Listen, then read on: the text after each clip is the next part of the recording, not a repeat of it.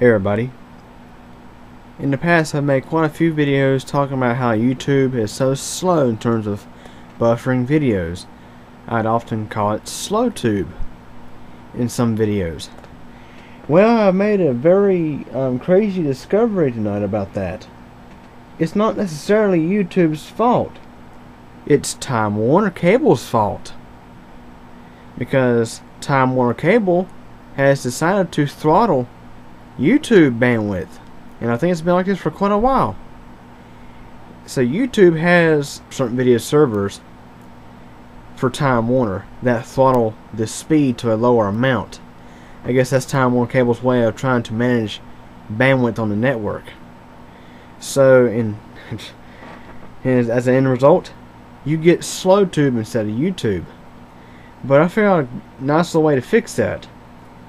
After looking out at some articles online, you can use Windows Firewall. This is a feature built into Windows XP and newer versions of Windows, and probably Windows NT, but I'm pretty sure not that many people are using that anymore. It's just Windows XP and newer on. They have Windows Firewall. Now I'm going to show you how to do this, how to configure this in the Windows 7 Firewall.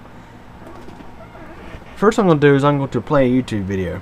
This is on BikeGeek MTDX, my other channel. Just play a basic random YouTube video. I'll do the Purple Martins. This video down here. I got this running Google Chrome because sometimes Firefox can, can lag too. I know Google Chrome's a good fast browser, so we're using Chrome for this test. Let's, let's watch it buffer.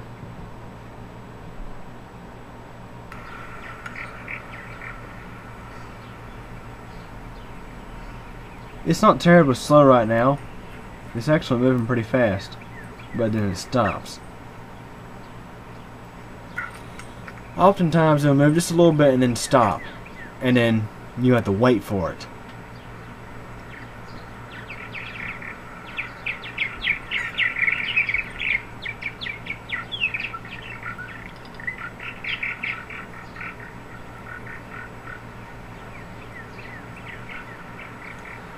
Course, own the this video because it's on my other YouTube channel.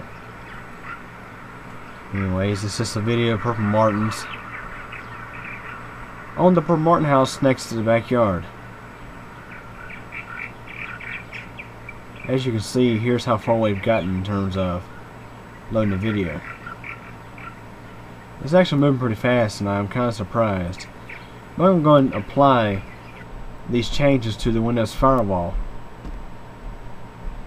What I'm going to do is I'm going to access my um, file that has the IP addresses that I had to add into the firewall. This is not part of the step. I'm part of the procedure. This is just me accessing a file.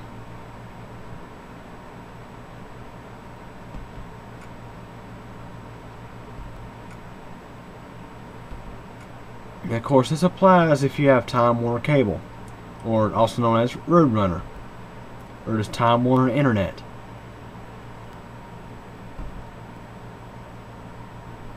Here's the file. Here are the two IP addresses. The first one is 173.194.55.0 slash 24. The second one is 206.111.0.0 slash 16. Now to access the Windows Firewall, you go to your control panel. And yes, Windows Firewall is down here, but we can go to Administrative Tools. And then double click on Windows Firewall with Advanced Security. And this will pull up the firewall.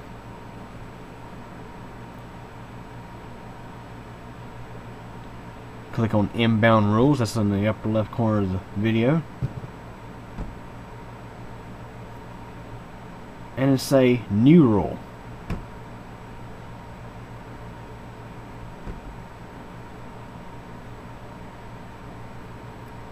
Click down here for custom. Say all programs. Click next, which is down here.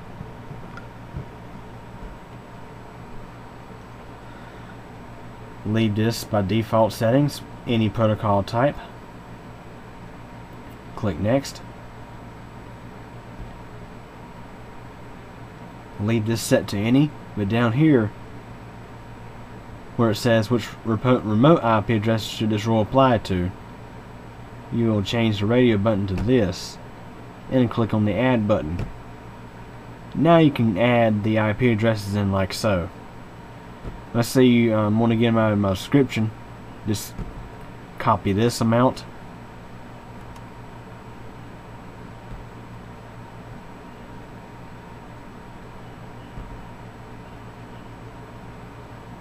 And then paste it in. Click OK. And let's repeat this for the second one.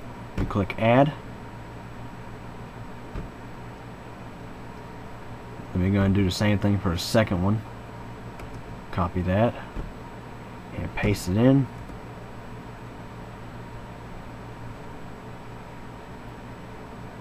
Click OK. And now you click Next. Select Block the connection. What's going to happen is when YouTube tries to use this connection, it's not going to work. So YouTube will have to resort back to its default connection that it uses for videos, which is the one that's not throttled from what I've heard online. Click Next. Click Next again because you want to supply to domains, private networks, and public networks. And give it a name such as YouTube Fix.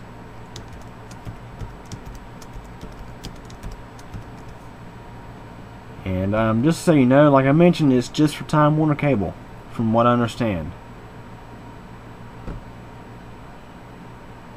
Time Warner Cable Internet.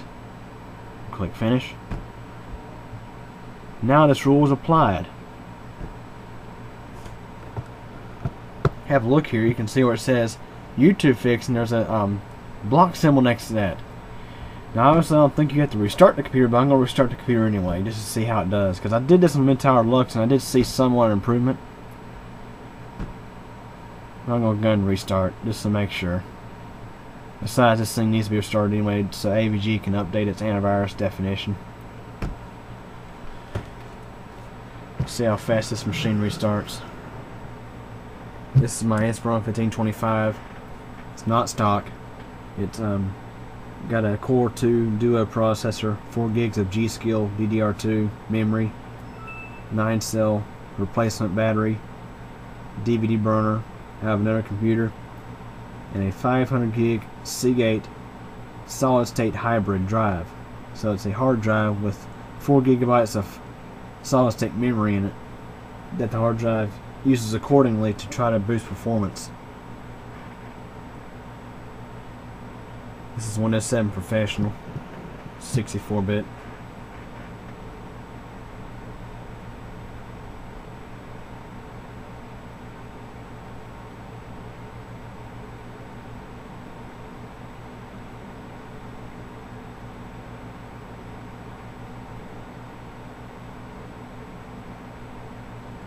And of course hasn't been restarted in a while.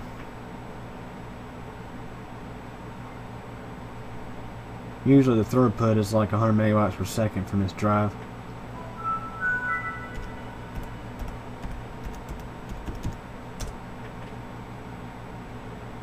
Which is definitely an improvement over the drive that was in the machine. Now I have Chrome set to return to where I was at in terms of the web page.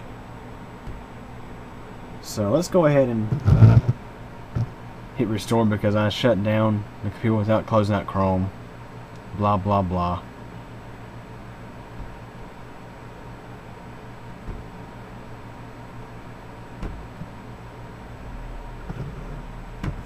See if we get a difference here.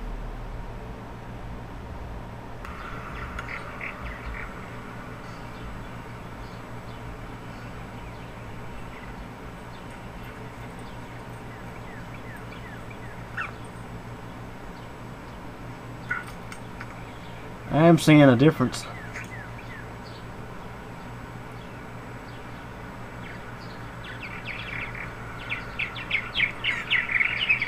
Expand a little bit. Not the biggest difference in the world, but I am seeing a difference.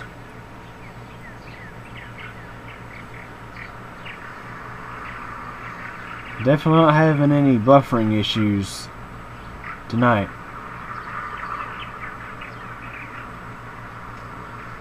But from what I've read online, this actually does work.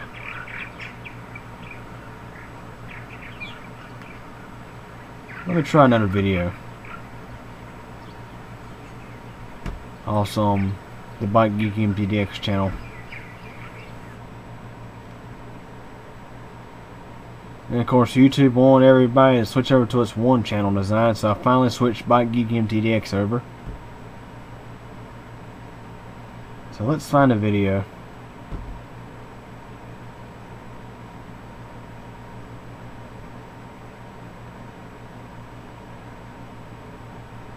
For example, let's do this video.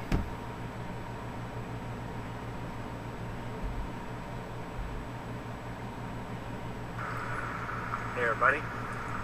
Here we're standing outside the Levine IT building at Central Piedmont Community College. I figure I'm going to do a retake on that previous elevator video uploaded. Because this time I actually have an intention of filming the elevators. Let's go inside. Took a little bit, but there it goes.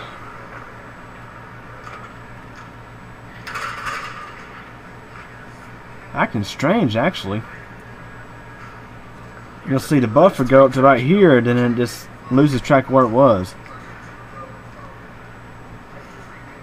These are fast. This one. Though I'm not seeing issues where the video is getting stopped going to five. for buffering. So it really just depends, um, I guess, on the time of day. These have a high ceiling.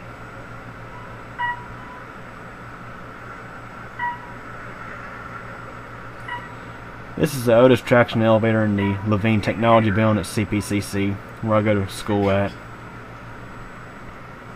you're going pretty fast. This time we'll go over, I guess we'll go to Cube Computer Channel.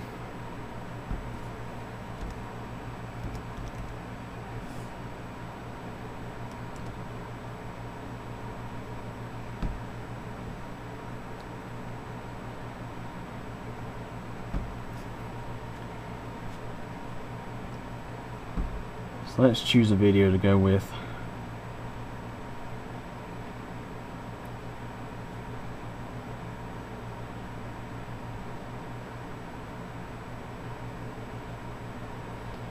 Try to find a um, short video.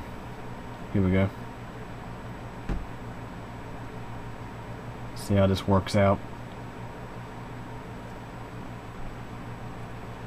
This is a three minute plus video. Hey everybody. You're listening to the sounds of a failing hard drive on a laptop.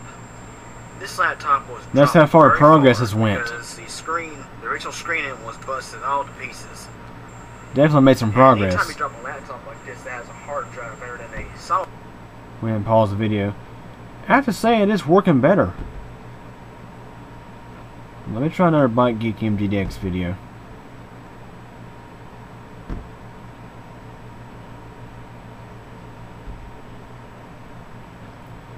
Here's a very aggravating load more button, which there is a fix for that. I do I do have a video online about that.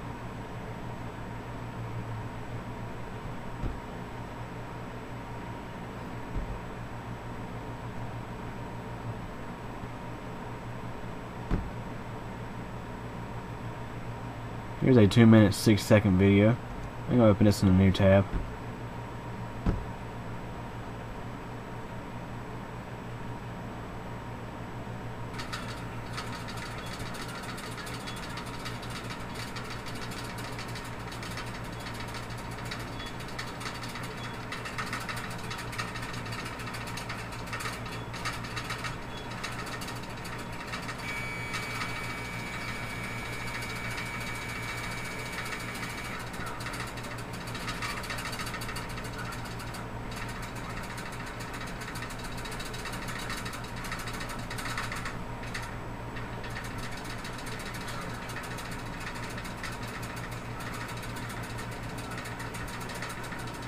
We don't like too much from finished buffering this video. I got the mouse cursor where it's currently at so that we can see it better. There's a crazy parrot Ahab making weird noises with the cage.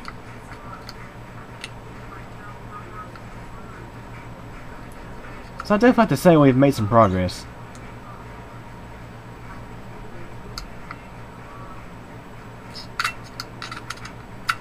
Because I know the past few days YouTube has been very slow. Also known as SlowTube.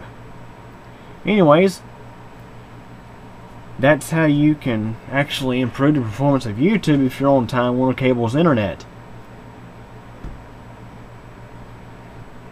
So just follow the instructions exactly as I did because you don't want to mess anything up in Windows Firewall. So if you're um, having any questions, feel free to just, like I say, is if you're still confused or trying to figure it out, replay the video a few times to carefully look over the steps and apply them like just like I did and you should be good to go. So anyways any questions or comments feel free to ask and thanks for watching